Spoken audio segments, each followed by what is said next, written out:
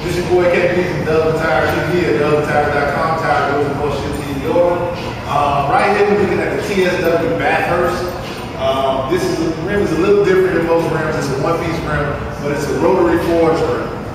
Um, and what's different about rotary forge is the construction of the rim. Uh, it's a much lighter rim than most rims. And so I'm going to give you a little demonstration about just how light this rim is with other rims. This is a uh, 20 by 8 and a half, so this is the front rim on any staggered package or any vehicle that uh, is just going to take one side all the way around.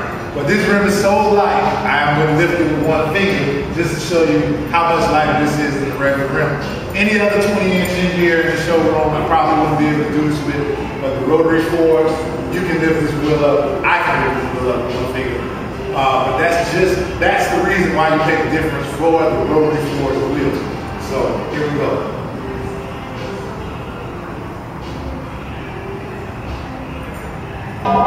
Boy KB from DUBSandTIRES TV signing up.